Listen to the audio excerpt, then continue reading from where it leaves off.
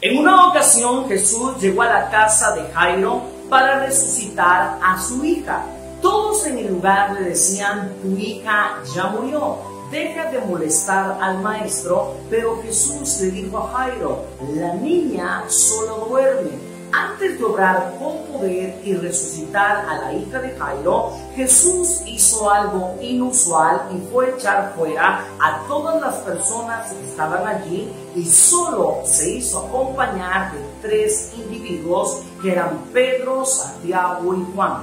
¿Por qué Jesús sacó a unos e introdujo a otros?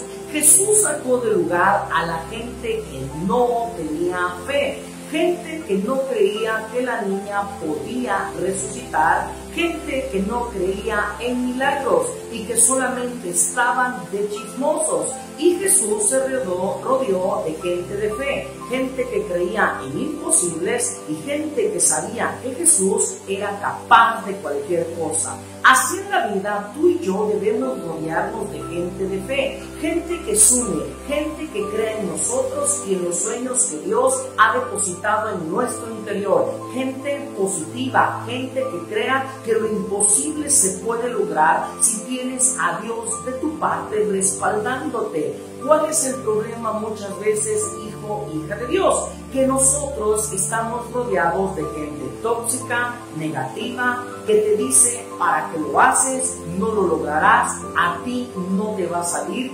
Gente como tú no triunfa en la vida. Gente que cuando tú le cuentas tus sueños te desanima con su veneno que tienen sus palabras. Ese tipo de gente te detiene y bloquea el potencial que hay dentro de ti. Gente que con sus palabras te chupa la sangre, la fe y la energía.